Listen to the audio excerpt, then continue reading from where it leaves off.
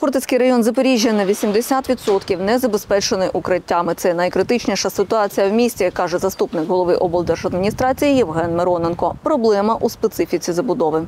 Там, е, в принципі, апріорі немає е, таких місць, де можна було би зробити це укриття. Тому е, ми наразі зараз розробили певне планування разом з містом щодо будівництва таких укриттів.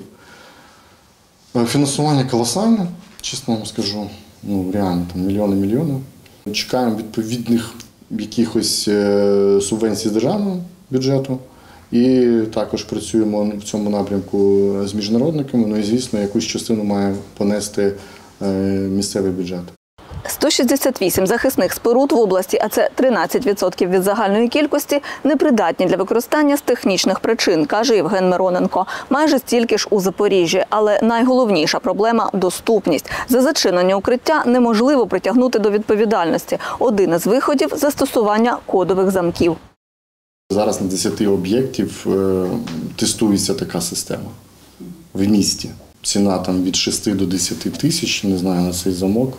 Да, люди ми могли би зробити всі е, замки по, по укриттям, ну скажімо, хоча б не в комунальних да, там, власності, де там оперативно можна відреагувати, а там е, в об'єктах там ОСББ, якщо вони там бояться. Також вважаю доцільним йти шляхом мобільних укриттів, е, але ті мобільні укриття, які мають відповідні параметри, параметри безпеки, е, не прості там стіночки да, по 30 мегапаскаль, а які ну, дійсно рятують е, від е, уламків, да, е, від розриву снаряду, ну не прямого а від розриву снаряду.